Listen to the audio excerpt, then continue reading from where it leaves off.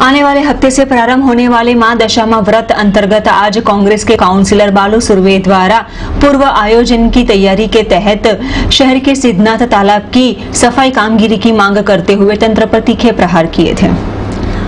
आने वाली 28 तारीख से वडोदरा शहर जिला में माँ दशामा व्रत का प्रारंभ होने वाला है। 10 दिनों के माँ दशामा व्रत के बाद 11वें दिन पर माता दी की प्रतिमा का जलाशयों में विसर्जन किया जाता है। जो ये व्रत को अब गिनती के ही दिन बाकी रह जाने के बीच कांग्रेस के काउंसिलर बालू सुरवे द्वारा तंत्र को आगाह करते हुए और तंत्र का ध्यान खींचने की कोशिश के भागरूप तालाबों में विसर्जन की पूर्व तैयारी के आयोजन के लिए आज आवेदन पत्र दिया गया। शहरी लोगों के लिए और खासकर श्रद्धालु लोगों के लिए माँ दशामा व्रत अंतर्गत प्रतिमा का कहाँ पर विसर्जन किया जाए, वो एक गंभीर सवाल बना है। ऐसे में शहर के मध्य में आए हुए और पौराणिक कहे जाते वैसे सिद्धनाथ तालाब की हालत काफ़ी बिगड़ी है। रिनोवेशन करने के बावजूद यहाँ पर ढेरों गंदगी का साम्राज्य छाया है।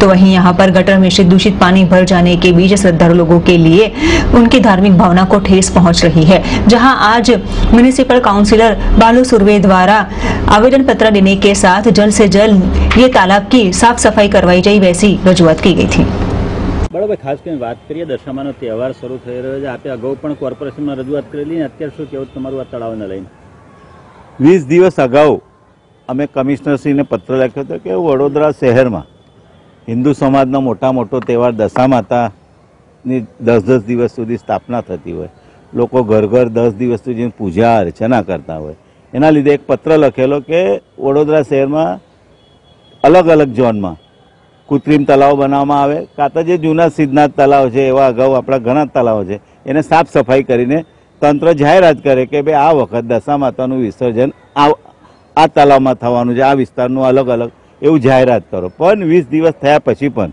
તંત્રએ કોઈ જાતની જાહેરાત નહીં કરી. એટલે અમે રિમાઇન્ડર ફરી પત્ર લખ્યો છે. કમિશનરશ્રીને કે થોડા દિવસ અગાઉ હવે અઠ્ઠાવીસ તારીખથી દશા માતાની સ્થાપના થશે. હજારો ભક્તો દશા માતાની મૂર્તિની સ્થાપના કરે, પૂજા કરે અને દસ દિવસ પછી છેલ્લા દિવસે એમને ઠેર ઠેર જગ્યાએ ફરવું પડે.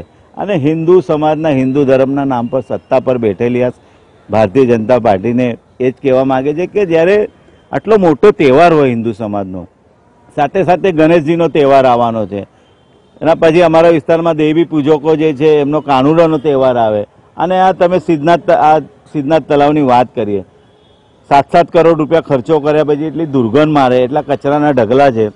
કોઈ જાતની સફાઈ ના થતી હોય. અને તંત્ર હજુ આજ દિન સુધી કોઈ જાહેરાત ના કરે. એટલે અમારી એવી માગણી છે કે ફરીથી અમે પત્ર લખ્યો છે કે વહેલી તકે વડોદરા શહેરમાં કોઈ કોઈ કઈ જગ્યા પર વિસર્જન કરવામાં આવશે એની જાહેરાત વહેલી તકે કરવામાં આવે.